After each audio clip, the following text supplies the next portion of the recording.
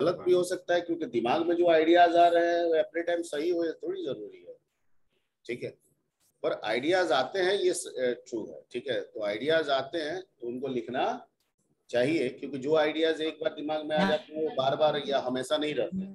वो आते हैं चले जाते हैं फिर आते हैं चले जाते हैं। तो जो भी आइडियाज़ आए हैं उसको अगर हम लिखेंगे तो हम अपने आने वाले बीस साल में वैसा होगा। हाँ? हाँ जी, कुछ बोल रहे थे क्या?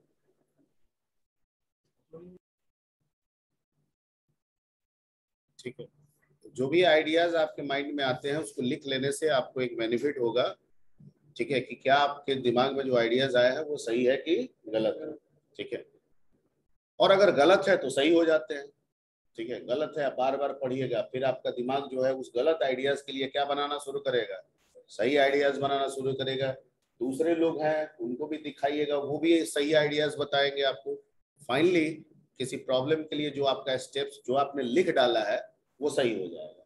सही हो गया तो सही हो गया। इसका मतलब कि वो प्रॉब्लम सॉल्व होगा, आप उसको फॉलो तो ये तो लॉजिक की बात है। अब इसको मैनुअली लिखने का जो तरीका है that approach is called algorithm ठीक है? इसको हम लोग क्या कहेंगे?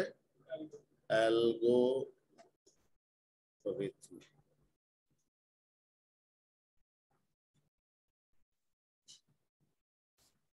ठीक है how we can define the algorithm ठीक है algorithm is the way algorithm is the way is the way to write the steps to write the steps came in mind for solving a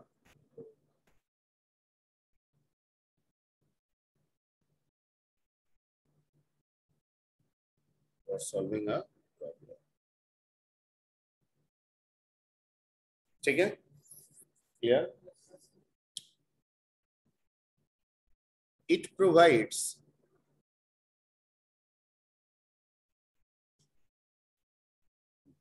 logical and mathematical approach. Logical and mathematical approach.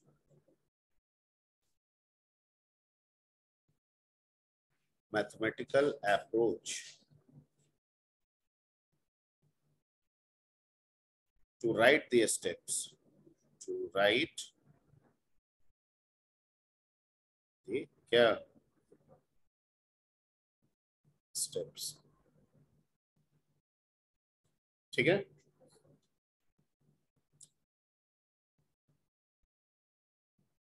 Pseudo code कौन सा code pseudo code can be used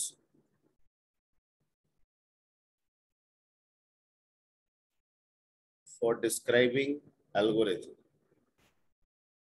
or writing algorithm, not describing.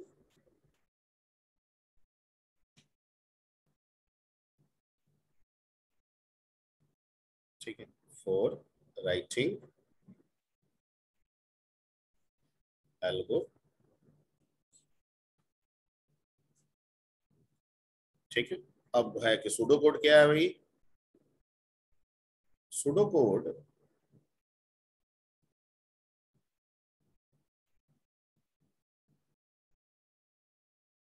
is the code.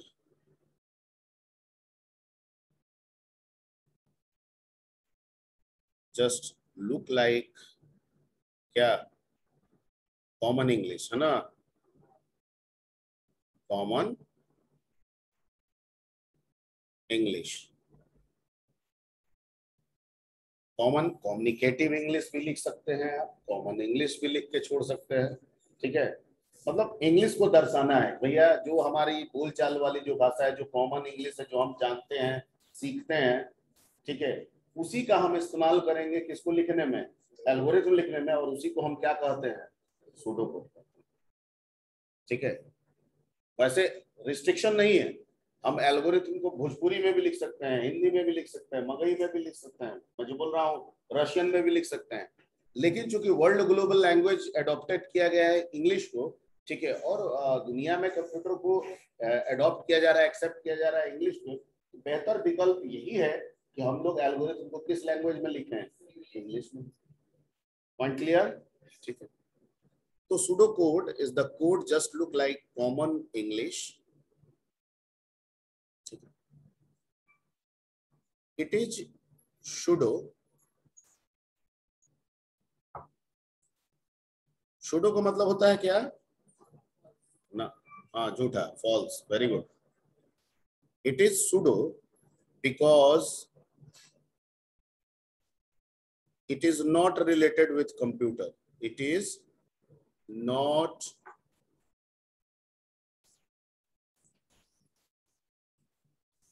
related with computer but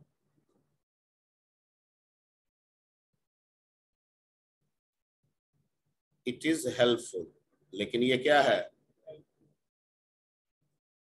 मतलब ये sudo इसलिए है क्योंकि computer से इसका कोई लेना देना नहीं है, लेकिन ये मददगार है। क्योंकि काम का स्टेप लिखा हुआ है और ये स्टेप डिफाइंड हो गया कि अब ये सही है तो इसी को देखते हुए जब पाइथन लिखेंगे सी लिखेंगे तो वो भी क्या होगा? नहीं समझे? घर बनाना है, नक्शा फाइनल कर दिए, नक्शा अप्रूव्ड हो गया। अब नक्शा को देख के घर बनाएँगे तो घर प्रॉपर ठीक है? तो ये कुछ नहीं है। चीज़ों को बनाने के पहले का जो स्केचिंग है, वो वही है। नहीं, घर बनाना है तो पहले स्केचिंग करते हैं ना? भाई हाँ अब ये हमारा ये हमारा चीज़ है। उसने देखा ना ना ये थोड़ा इधर उधर कीजिए। फाइनल एक स्केचिंग बना लिए, ठीक है? आर्किटेक्चर के पास गए वो भी कहा कि ठीक है, आपके आधार पर हम बना देते उसने भी बना दिया अप्रूव्ड हो गया, ठीक है। अब उस स्केचिंग को देख के हम घर बनाएँगे जैसा चाह रहे थे, वैसा ठीक है? तो आपको लिखना है। किसमें? सुडो कोड तो अंग्रेज़ी है। सुडो कोड क्या कह रहे हैं? अंग्रेज़ी। ठीक है? सुडो कोड मतलब अंग्रेज़ी मतलब अंग्रेज़ी भाषा का प्रयोग करके, ठीक है, हम स्टेप्स को लिखेंगे। और जो पूरा लिख देंगे, उसको एल्गोरिथम करेंगे। क्या कहेंगे? यानी एल्गोरिथम के अंदर जो स्टेप्स होंगे, उनको लिखने के लिए जो कोड हम इस्तेमाल करेंगे, वो अंग्रेज़ी होगा कॉमन इंग्लिश होगा, और उसी कॉमन इंग्लिश को हम लोग सुडो कह रहे हैं। और सुडो इसलिए कह रहे हैं कि जो हम लिख रहे हैं कंप्यूटर से उसका कोई डायरेक्ट रिलेशन नहीं है ना ही आप समझेंगे। ठीक है? उसका सिर्फ़ रिलेशन है कि जो स्टेप्स दिमाग में आया काम को करने के लिए उसको मैंने कॉपी पे लिख दिया। और एक बार अगर कॉपी में लिख दिया तो वो कॉपी में है। अगर भूल भी जाएँगे तो कहाँ से याद आ जाएगा? कॉपी से पॉइंट क्लियर तो pseudo code is the code just look like common English ठीक है? इट इज़ सुडो मतलब झूठा because it is not related with computer आप इसको कंप्यूटर से जोड़ के मत समझेंगे कि कंप्यूटर का पार्ट है। हम इस सूडो में जाकर कहीं कुछ लिखेंगे, ऐसा नहीं समझना है। ठीक है? Okay but it is helpful ठीक है? मतलब अगर नक्शा बन गया तो घर बनाने में हमारे लिए क्या होगा? आसानी हो जाता होता है, आप सब समझ रहे हैं। उसी तरीके से अगर प्लानिंग हमारे पास लिखा हुआ है तो उसको एक्टिवेट करने में हमारे लिए क्या हो जाएगा? आसान हो जाएगा। ठीक है? तो एक प्रोग्राम का अगर एल्गोरिथम कॉपी पर लिखा हुआ है, और जब इसको फॉलो करके हम पाइथन पे प्रोग्राम लिखेंगे तो गलती की संभावना है? पॉइंट क्लियर ओके तो अगर कोई आपसे पूछे कि एल्गोरिथम क्या है तो आपका सिंपल जवाब कि आप ऐसे भी कह सकते हैं कि it is logical and mathematical approach to write the steps ठीक है? टू राइट द जैसे आप क्या यहाँ पे लिखा है ना कि it provides logical and mathematical approach to write the steps ठीक है? ऊपर में लिखे हैं कि algorithm is the way to write the step keep in mind for solving a problem मतलब जो लॉजिक मेरे दिमाग में आ रहा है, ठीक है, उसको कॉपी पे लिखने को ही हम क्या कहते हैं? एल्गोरिथम फिर थोड़ा सा मैंने एलोबरेट किया कि भाई जो लिखेंगे वो कैसे लिखेंगे?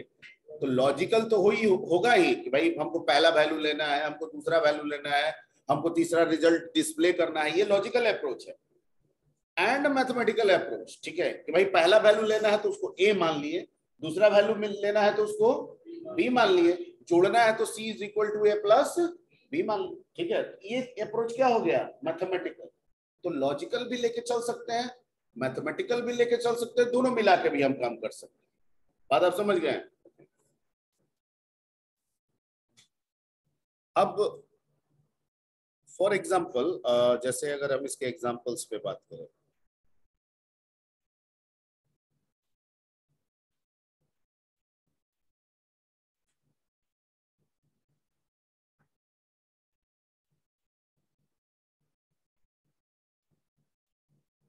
ठीक है? अब एक एग्जांपल्स में अगर हम कॉमन एग्जांपल्स एक ले ले जनरल एग्जांपल अभी हम इसको बिल्कुल कंप्यूटर से अभी हट के सोच रहे हैं। जैसे मेकिंग टी क्या? मेकिंग टी मुझे इसका एल्गोरिथम लिखना है। क्या लिखना है? एल्गो लिखना है। ठीक है? तो कोई कहेगा कि पहला एक काम करो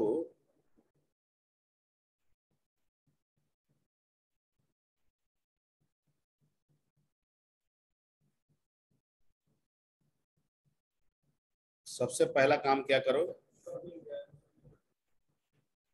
गैस जलाओ। ठीक। दूसरा, फुट पॉट केतली रखो। तीसरा, ऐड मिल्क एंड वाटर।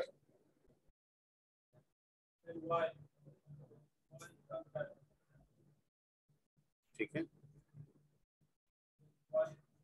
चौथा जो है एड टी एंड शुगर हाँ वही। पांचवा boiled for some time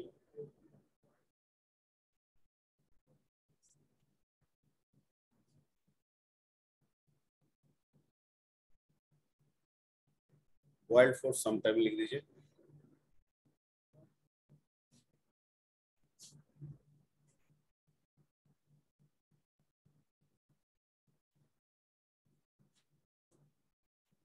इसके बाद आपका क्या हो जाएगा? चाय। रेडी हो गया। तो ये स्टेप्स हो गए। क्या आपको लग रहा है कि ये स्टेप्स को फॉलो करने से चाय बन जाएगा? ज़रूरी थोड़ी है। हो सकता है कि प्लानिंग हो सकता है कि पहली बार आएगा। ठीक है? और किसी ने कहा कि put pot not put pot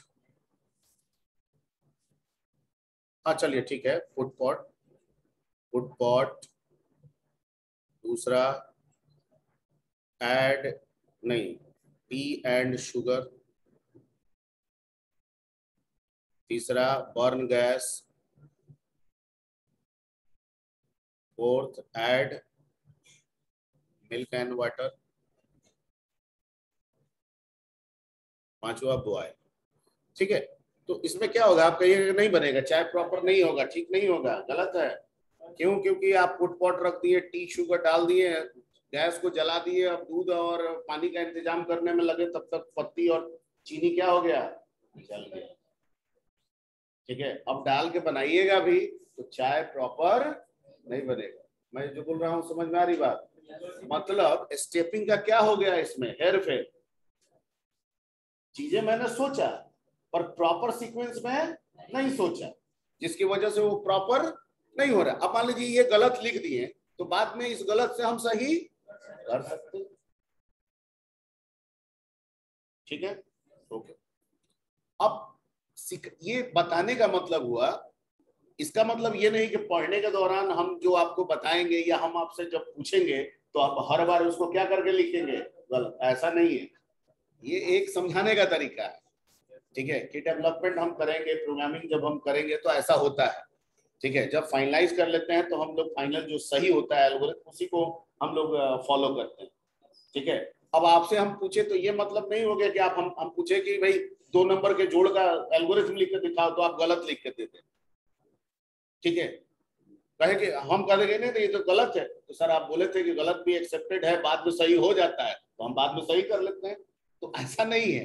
पढ़ाने के दौरान हम आपको जो बताएँगे वो सही बताएँगे और जो आपसे पूछेंगे वो भी सही होना चाहिए। ठीक है? आप गलत अगर लिख रहे हैं तो आप अपने में क्या करिए उसको? फाइनलाइज कीजिए। हमको रिज़ल्ट आपको क्या देना है? सही देना है। ठीक है? तो ये कॉमन ऐसे ही मेकिंग टी का आपको एल्गोरिथम हम समझाए थे। ठीक है?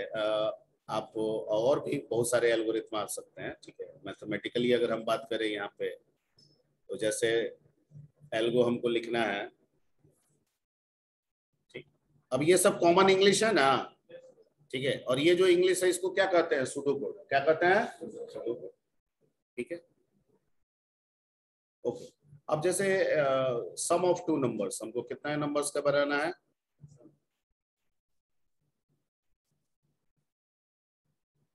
क्या लिखना है इसका? एल्गोरिथम लिखना है। क्या लिखना है? एल्गोरिथम लिखना है। सबसे पहला काम क्या करेंगे, इसको दो तरीके से लिख सकते हैं। पहला टेक फ़र्स्ट नंबर क्या? सही है? टेक सेकंड नंबर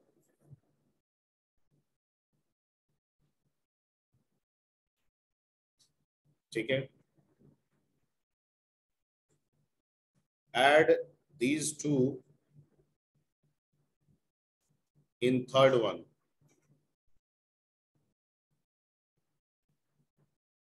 ठीक है? और फोर्थ में आप क्या लिखेगा? डिस्प्ले थर्ड वन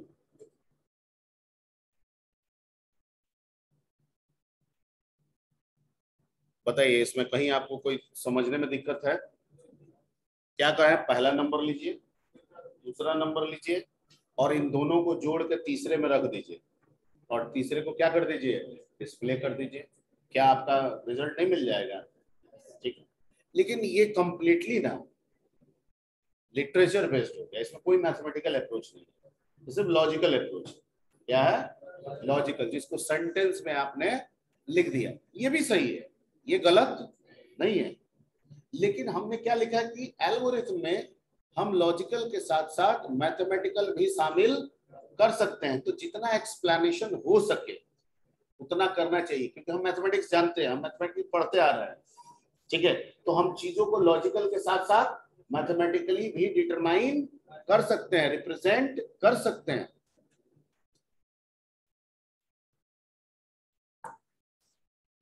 अब इसको अगर हम एक और स्टाइल में लिख दें।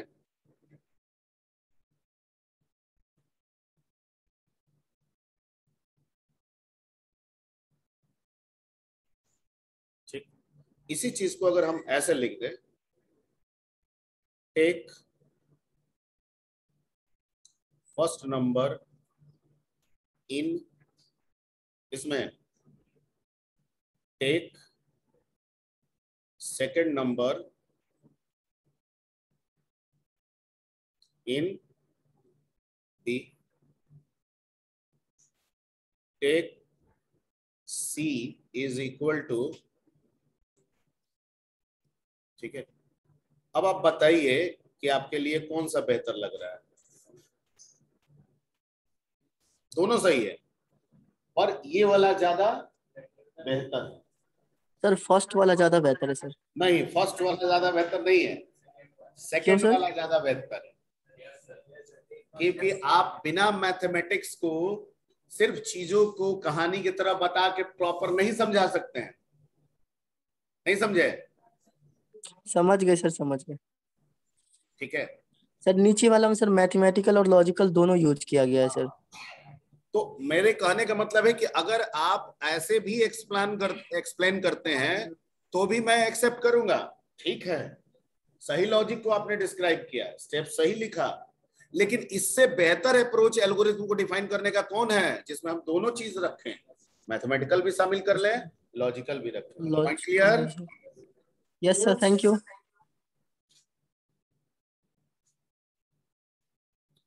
okay तो अब सम ऑफ़ टू नंबर्स बता दिए हैं तो सब्ट्रैक्शन ऑफ़ टू नंबर्स नहीं बन जाएगा। यस सर हो जाएगा। यस सर बन जाएगा सर पहले से प्लस एडिशन के लिए माइनस सब्ट्रैक्शन के लिए स्टार ठीक है? अब आप कहिएगा कि हम सर यहाँ पे स्टार की जगह पर अगर एल्गोरिथम में क्रॉस लिख दें तो चल जाएगा। एल्गोरिथम तक चल जाएगा। एल्गोरिथम में वो सारी चीज़ें लिख देंगे, जो मैथमेटिकली आप अभी तक स्कूल कॉलेज में लिखते आए हैं, वो एक्सेप्टेड हो जाएगा।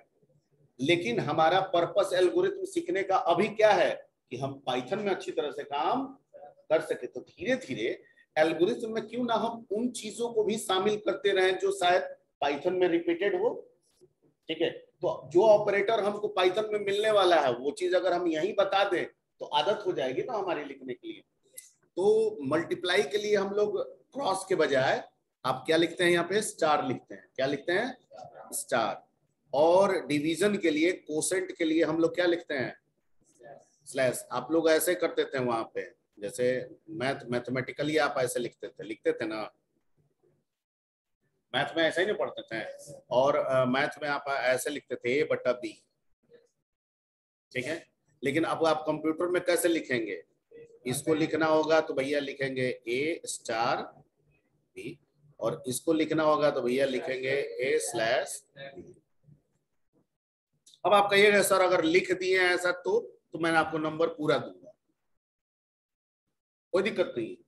एल्गोरिथम में कोई दिक्कत नहीं है, लेकिन अगर पाइथन में लिख दिया पाइथन में नहीं होगा, ये होता ही नहीं है, गलत हो जाएगा नंबर में काट लूँगा। ठीक है नंबर में मैं, क्योंकि बताने, पढ़ाने का तो यही पर्पस है कि मैं अभी से चीज़ों को बताते, आगे चलू।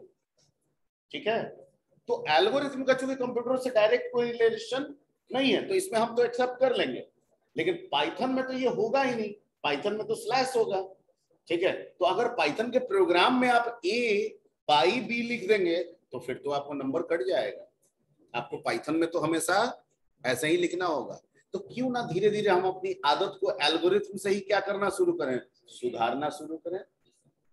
ठीक है? Everybody yes okay yes sir okay तो आ, आपके पास प्लस माइनस मल्टीप्लाई के लिए आप क्या इस्तेमाल करेंगे अब? स्टार डिवाइड के लिए जहाँ भी डिवीज़न पार्ट है स्लैश और रिमाइंडर के लिए आप परसेंट का इस्तेमाल करेंगे। किसका इस्तेमाल करेंगे? परसेंट ठीक है? ये हो गया आपका ऐड ठीक? ये हो गया आपका सब्ट्रैक्ट ये हो गया आपका क्या? मल्टीप्लाई और ये आपका कोसेंट हो गया। क्या हो गया? कोसेंट और इससे आपको क्या मिलेगा? रिमाइंडर ठीक है? एटलीस्ट इतना बेसिक जो ऑपरेटर्स है इस पे तो बहुत सारे आप काम निकाल सकते हैं। ठीक? तो अब मैंने आपको दो नंबर को जोड़ना बता दिया तो घटाना गुना करना और भाग देना। ये दो नंबर का आप बना लेंगे। कुछ नहीं करना है सिर्फ़ कहाँ पे चेंजिंग हो जाएगा। ठीक है? यहाँ पे चेंज कर लेंगे तो एल्गोरिथम लिख लेंगे। एनी डाउट ओके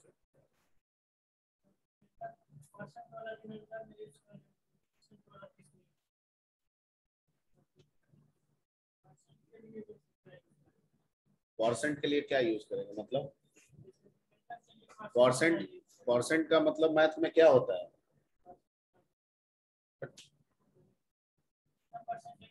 मैथ में परसेंट का मतलब क्या पढ़े थे? Percent means mathematically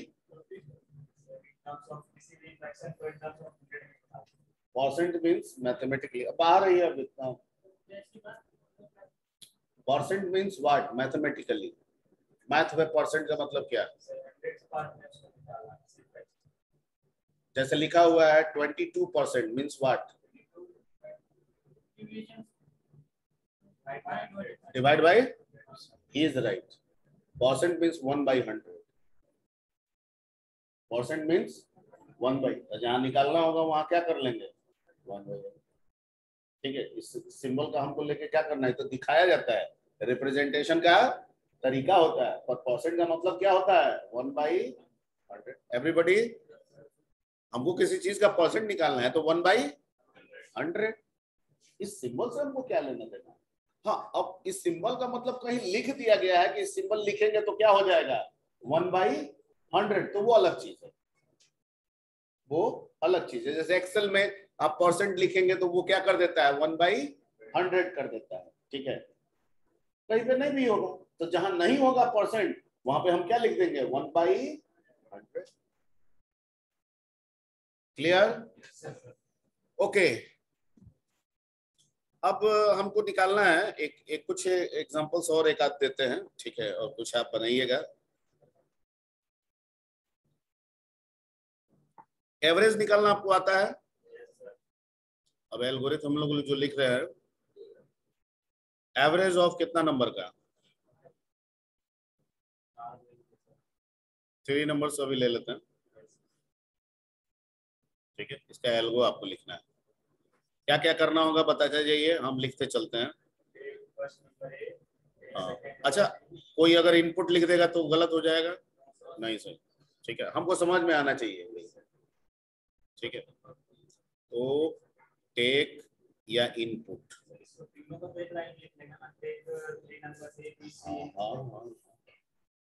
स्वतंत्र है। ठीक है। टेक आप ऐसे भी वन बाई वन भी लिख सकते हैं। टेक थ्री नंबर्स इन किसमें लिख सकते हैं? Three numbers in A comma B comma sir fifty six waiting में ज्वाइन कर लीजिए उसको। ठीक है। और एक एक तो और ले लीजिए, एक एक एवीजी ले लीजिए। एवीजी मतलब ठीक है, इसको वेरिएबल बोलते हैं। क्या बोलते हैं? वेरिएबल कोई भी नाम रख सकते हैं सुटेबल ठीक है? नॉर्मली वेरिएबल जो है अल्फ़ाबेट से शुरू करना चाहिए अल्फाबेटिक ही रखना चाहिए। ठीक है? किसी वेरिएबल का नाम नंबर से मत कीजिएगा। ठीक है? बाद में हम रूल भी समझाएँगे। अभी दिमाग में बैठा लीजिए कि कोई भी वेरिएबल लेंगे तो उसको अल्फ़ाबेट से यूज़ करेंगे। किससे यूज़ करेंगे? अल्फ़ा एबीसीडी अपना नाम, किसी का भी नाम, ठीक है? तो प्रॉब्लम के सुटेबल अगर नाम रखे तो ज़्यादा बेहतर है। तो जैसे हमको एवरेज निकालना है तो हम रिज़ल्ट को क्या मान लिए? ए बी जी और इसमें हम क्या किए? तीनों को जोड़ना है।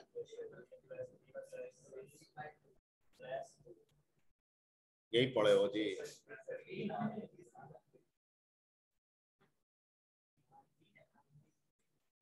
ठीक और अब तुम्हारे पास रिज़ल्ट किसमें स्टोर हो चुका है? एवरेज में। तो क्या लिख दोगे? सर डिस्प्ले और प्रिंट सेम ही है ना सर डिस्प्ले लिख दीजिए प्रिंट लिख दीजिए शो लिख दीजिए ठीक है? आउटपुट लिख दीजिए ठीक है? यानी वो वर्ड जिससे हमको समझ में आए कि भाई यहाँ पे वैल्यू लिया जा रहा है यहाँ पे वैल्यू को दिखाया जा रहा है। ठीक है? ऐसे वर्ड्स का आप प्रयोग करेंगे ठीक है? कोई दिक्कत नहीं है। क्लियर यस सर ठीक है? अब मैं टेक ले रहा हूँ तो आप टेक ही नहीं आप इनपुट भी करके बना सकते हैं ठीक है? इसको ऐसे भी लिखा जा सकता है। ठीक है? अगर मैं लिखूं यहाँ पे तो इनपुट क्या लिखू? इनपुट ठीक है? इनपुट का मतलब भी लेना ही होता है, तीन वैल्यू लीजिए, input three numbers three numbers in किसमें? ए बी सी ठीक? दूसरा, कोई टेक के बजाय कोई लिख देगा लेट मन माना, किसको? ए बी जी और इसमें लिख दिया A plus B plus C by three ये भी एक्सेप्टेड ठीक है? और थर्ड डिस, डिस्प्ले की जगह पे किसी ने लिख दिया प्रिंट क्या? ए बी जी ये भी सही। किसी ने लिख दिया सू क्या? ए बी जी ये भी सही। समझ गए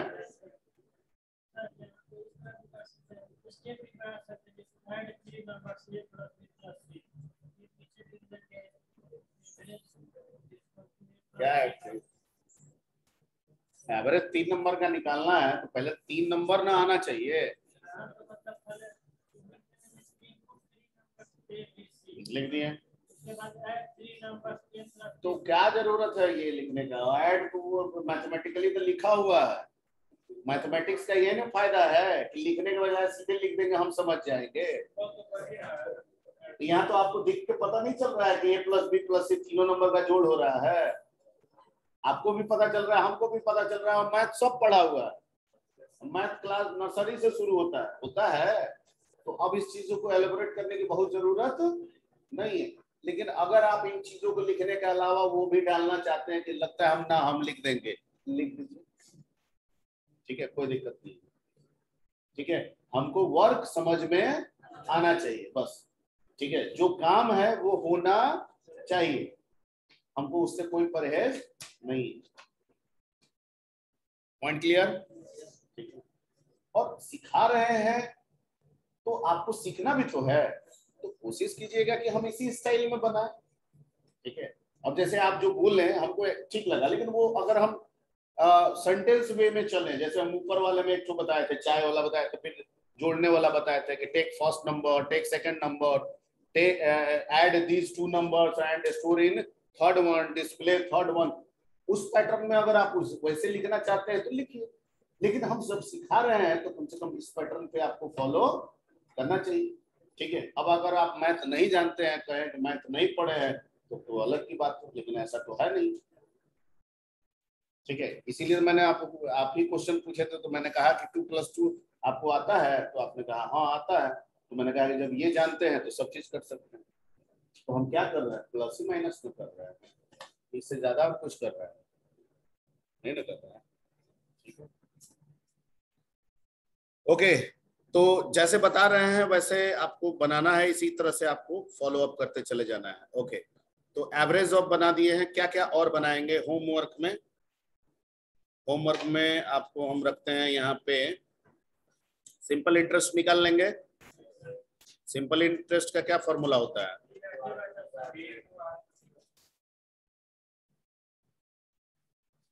टी बाई क्या क्या इनपुट आपको कराना होगा?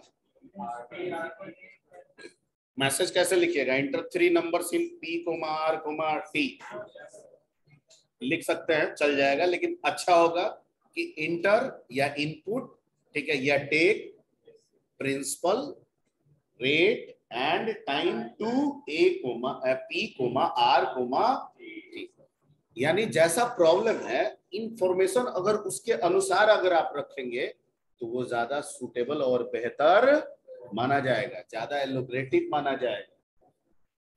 क्लियर ठीक है। तो बन जाएगा? ओके तो जब ऐसा ही आपसे निकल जाएगा अच्छा एरिया ऑफ़ ट्राइंगल आपसे निकल जाएगा? यस सर यस सर उसका फॉर्मूला होता है? One by two into into H dividing by two ऐसे लिख देंगे तो सही है। इसमें क्या क्या इनपुट कराइएगा? बेस एंड हाइट हो जाएगा। ठीक है।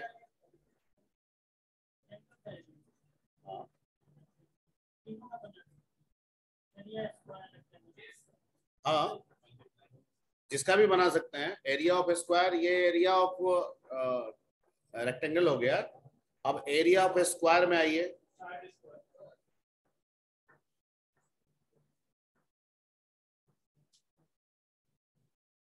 ठीक है? इसमें क्या होता है? साइड इनटू साइड इसमें क्या इनपुट कराना होगा? कितना बार? एक बार. वेरी गुड लेकिन मल्टीप्लाई होगा दो बार. इनपुट होगा एक बार. मल्टीप्लाई होगा दो बार. वेरी गुड और एरिया ऑफ़ ये एरिया ऑफ़ ट्रायंगल हो गया. एरिया ऑफ़ रेक्टेंगल आपका हो गया. L into B, length.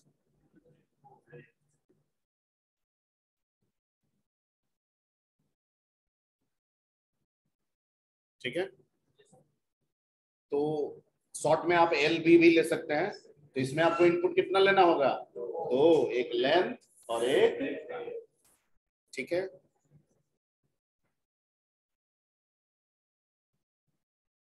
तो ये ये आपके लिए ये चार होमवर्क रहा। चारों होमवर्क बनाइएगा। और इस पे आपको लगता है कि और कुछ बनाया जा सकता है, आपके दिमाग में आ रहा है तो वो भी आप बना डालिएगा। इसके आधार पे आपको लगता है और कुछ बनाया जा सकता है तो वो भी आप बना डालिएगा। ठीक है? तो नेक्स्ट क्लास में ये चारों आप रेडी रखेंगे, ठीक है? और जो ऑनलाइन में है, वो लोग भी रेडी रखेंगे। अगर किन्हीं का देखना होगा तो स्क्रीन शेयर का परमिशन देंगे ठीक है? वो स्क्रीन शेयर के ज़रिए अपने कॉपी को प्रेजेंट कर सकते हैं ठीक है? मैं चेक कर लूँगा उससे। क्लियर सर पीडीएफ डाल दीजिएगा सर। पीडीएफ आपका नहीं गया है और एक मिनट रुक जाइए। रुकिए रुकिए। नहीं आया वो अरे रुकिए भाई रुकिए। एक्सपोर्ट पीडीएफ एक्सपोर्ट और इसको हम चले जाते हैं दिस पीसी में डी ड्राइव में आते हैं। और आपका एक न्यू फोल्डर क्रिएट कर देते हैं। बीसीए ए के यू फ़र्स्ट इक्कीस चौबीस। और आपका बैच वन है ना बी वन है। ठीक है? और पाइथन भी लिख देते हैं।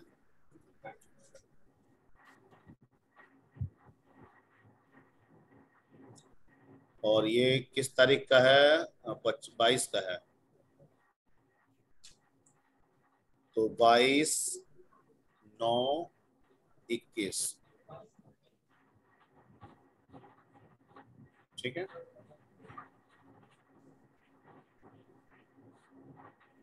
चलिए सेव हो गया और ये हो गया कितने तारीख का? और बीच में तो ऐसा ही चला था रिवीजन चला था ना?